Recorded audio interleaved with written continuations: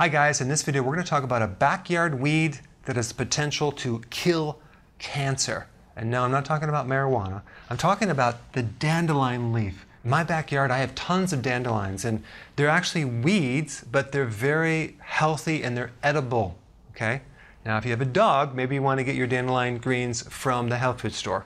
And I can sit there and consume a whole salad of dandelion greens, but most people can't do that. They're very bitter so it's hard to actually consume. They're very fiber rich, so it's hard to chew. But if you mix them with your salad, you'll get the benefits. Major anti cancer properties.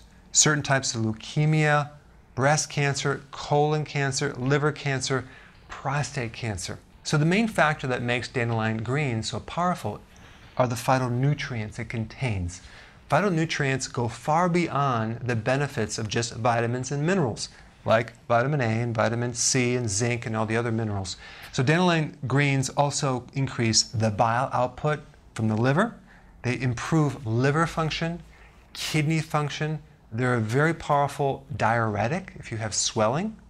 Um, so even if you're on chemotherapy, I highly recommend taking either this in a salad or as a tea because it can slow down cancer and prevent the damage of the chemotherapy. So I wanted to increase your awareness of this amazing plant. You'll see it at the health food store.